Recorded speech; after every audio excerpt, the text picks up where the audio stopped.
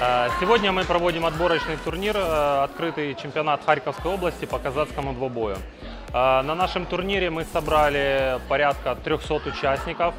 Еще продолжается взвешивание для разделов, которые пройдут на второй день наших соревнований. Для многих спортсменов это служит отборочным турниром перед чемпионатом Украины, который пройдет в городе Киев 2-4 октября.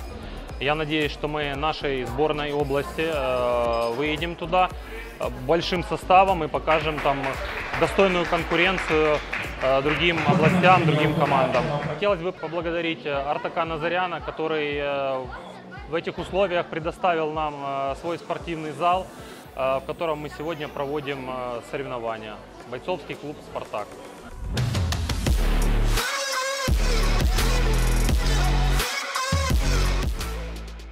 Сегодня Федерация казахского двобоя Харьковской области проводит соревнования в нашем зале. Э, Ребята показывают достаточно хороший уровень подготовки, довольно зрелищные, интересные схватки. Как и любительские дети, так и взрослые.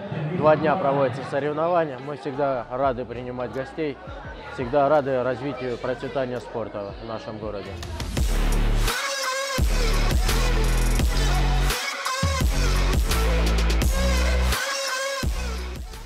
Наш клуб «Дангун» уже четвертый год выступает на соревнованиях по казацкому двубою.